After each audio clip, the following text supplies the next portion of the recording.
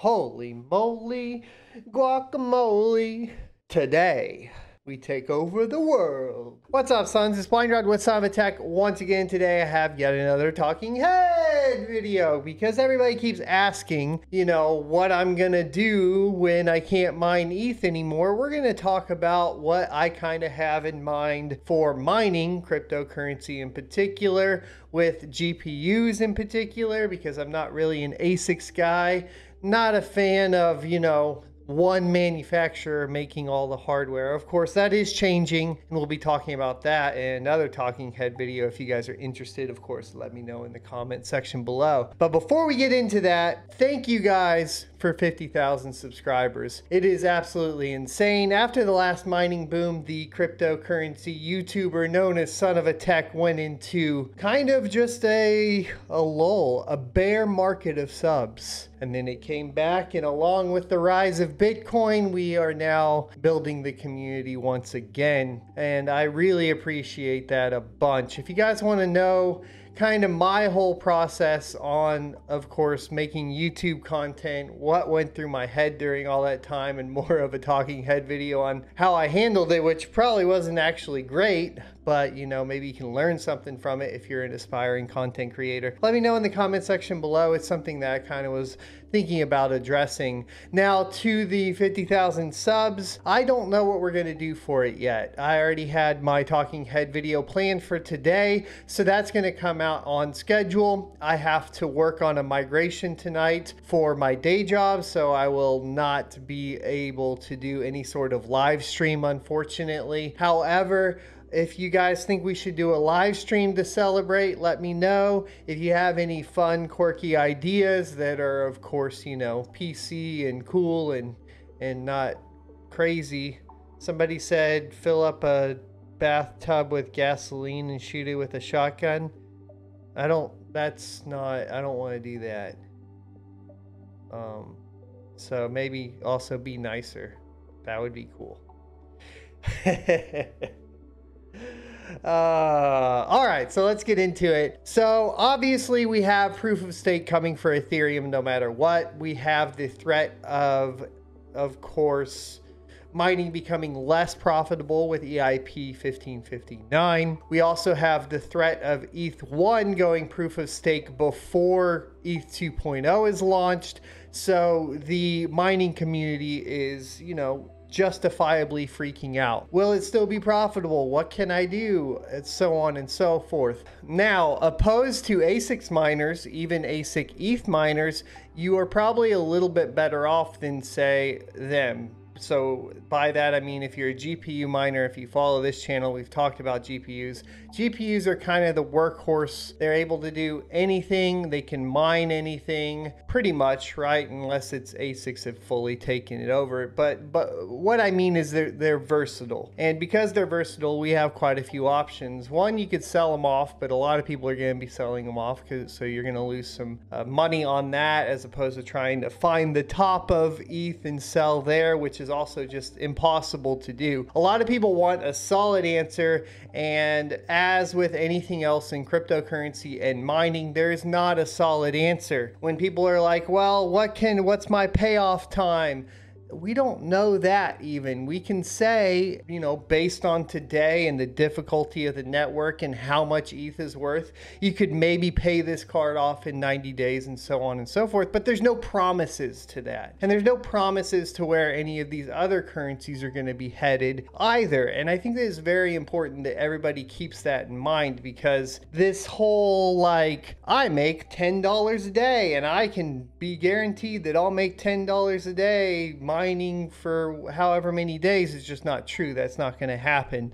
But here's a few things I'm personally looking at when I am trying to decide on, of course, what might be the possibilities to move my graphics cards over when ETH is either less profitable or, of course, it becomes not mineable at all. There's a couple different websites you can use. There's MinerStat, there's What to Mine, which is kind of the classic, and so on. You can just basically type in whatever GPU you have and then go through the process of determining what is most profitable at the time. The idea for mining cryptocurrency is going to be more along the lines of mining whatever is most profitable, and then you can always just sell that or swap that for what is not as profitable. There are other strategies, which is mining uh, something that is less profitable but has a higher upside, like hedge mining. And I did that a long time with Raven Coin, for example, during the bear market and so on. But, you know, at the end of the day, if you were still mining the most profitable and then swapping it for something that's less profitable, you're probably going to be better off. So if we look at the most profitable coins, we are going to see that ETH is by far ahead of everything else. But other things are still profitable even right now, albeit, you know, maybe about half of the cut. So this is what I talked about in basically the GPU mining strategies was that we have an issue where once we can't mine Ethereum, uh, the profitability is going to drop significantly. So, keeping that in mind, you need to consider the fact that your payoff time is going to change quite a bit too. But so could the different projects that are currently mineable as well. There are a lot of different good projects that are pretty promising, and the few that I've been been looking at or mining even on the side, even through ETH, has been Conflux and Ravencoin, which we have guides for on this channel. Now, as you guys can see though, we picked, you know, Ravencoin as well as Conflux. Now, they are still probably the second and third most profitable coins. The, there is an honorable mention of Grin, but there's a lot of other issues that come into play with Grin as far as mining and the different types of wallets and the trading process for it.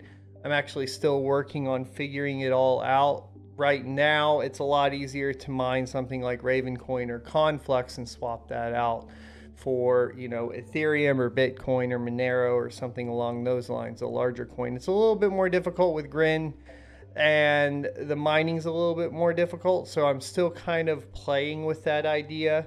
We also have talked about Vertcoin, but Vertcoin is a very specifically aimed coin at production machines or machines that are in production for other uses.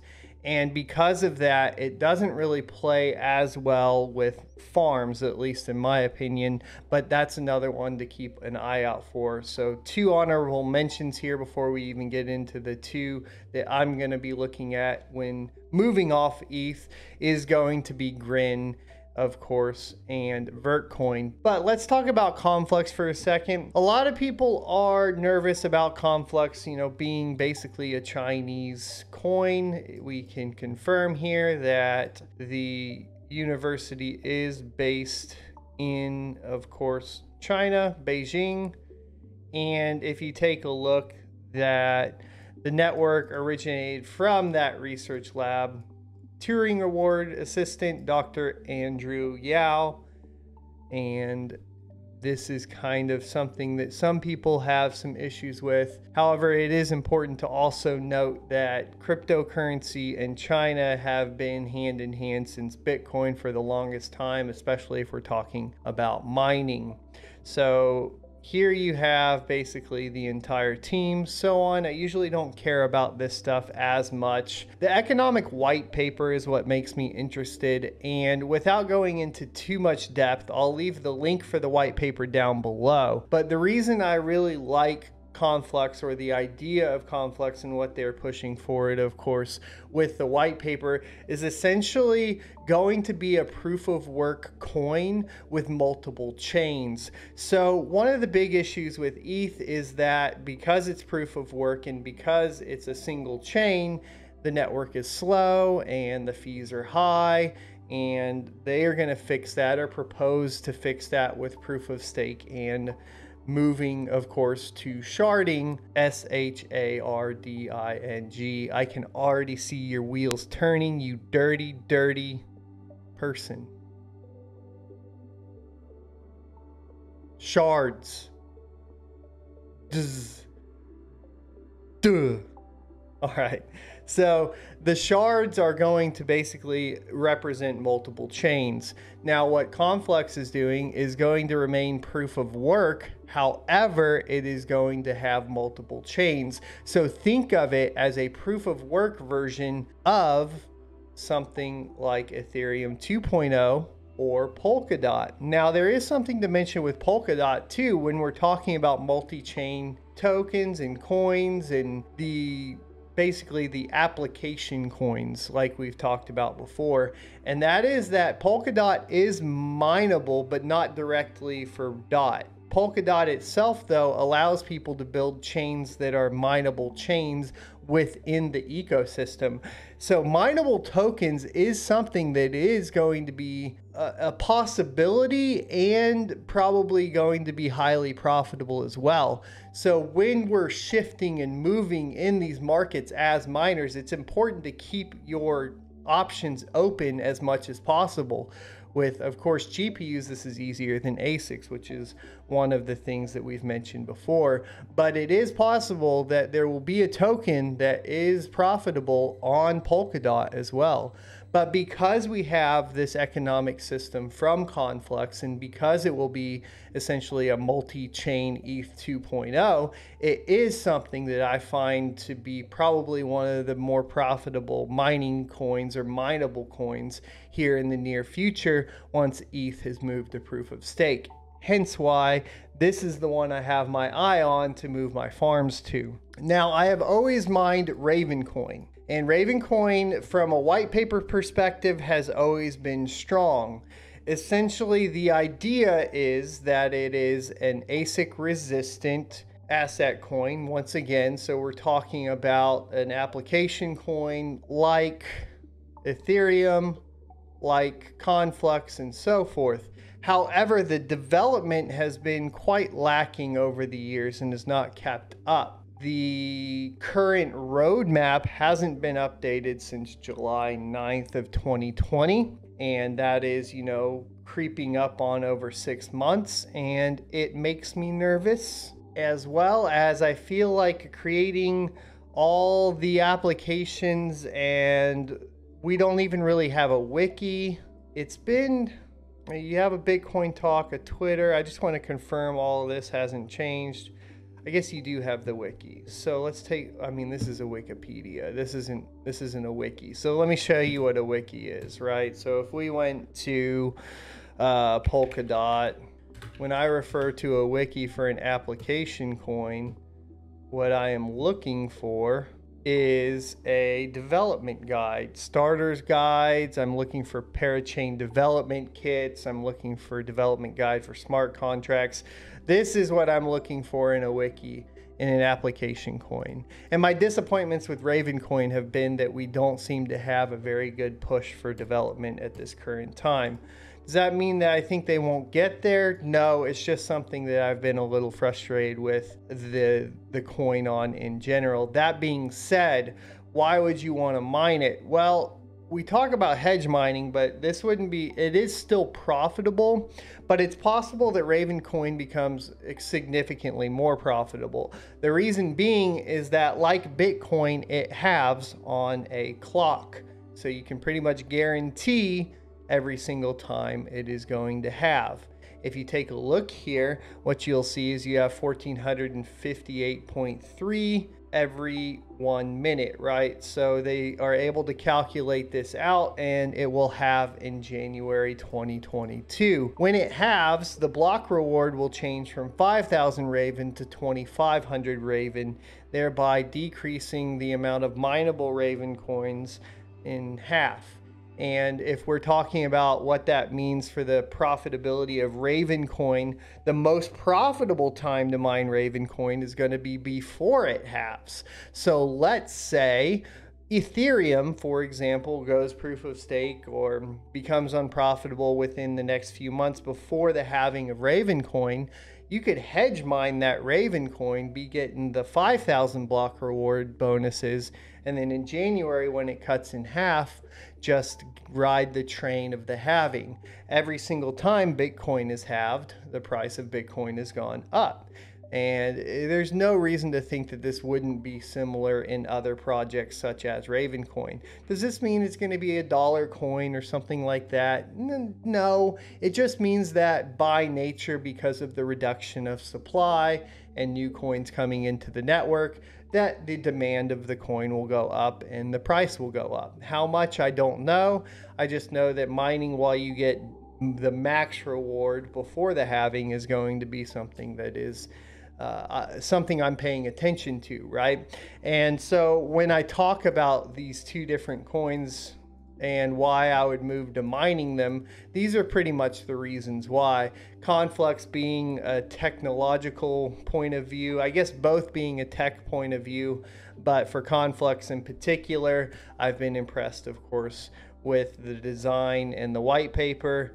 Uh, Ravencoin, I have been impressed with it in the past. However, like I said, there's some disappointments uh, with it right now. I don't feel like they're providing the community with enough tools to actually utilize it to its fullest effect. And if they could give the community more tools to do that with, I think that the price would go up at least and it would be more enticing. So, those are the two coins I'm planning on moving to mining to if it was like Ethereum is stops being profitable tomorrow the thing is is you guys need to pay attention to the fact that this is a changing market. So what's profitable today what looks promising today won't be promising a year from now or two years from now or even a month from now though right? So because of that you need to be able to be paying attention researching and so forth. What i'm going to offer is if you hit that subscribe button get us closer to that 100000 I will be giving you guys my thoughts and strategies uh, coming from the perspective of a miner. I also want to move closer and closer to developing more. I want to get better with my developing skills in Rust and things like Solidity and prepare myself personally for the shift eventually away from mining completely because I don't think that's the end game for crypto. I'm not saying mining stops anytime soon. Don't get me wrong. I just think of it more of like a Ford motor car being towed by a horse at this time and because it ran out of gas if that makes sense. That's the best analogy I can think of. And that movement in technology is going to be slow. So don't be scared that mining's ending tomorrow or even a year from now or even 10 years from now, because I don't think it will. But it is good for you to prepare yourself for other opportunities in the crypto space outside of just mining. And that's my personal opinion and what I'm personally doing. So I hope this video is helpful. Be sure to leave a like, comment, subscribe. I saw 86% of you aren't subscribed already. So if you could hit that, we could we could literally pump those numbers way up, which would be awesome. Also, only 6% of you have the notification bell on. Hit that if you want to be notified when basically I release a video, which is currently every day. And then don't forget to let me know what you guys think about doing a 50,000 sub. And I will see you next Tuesday.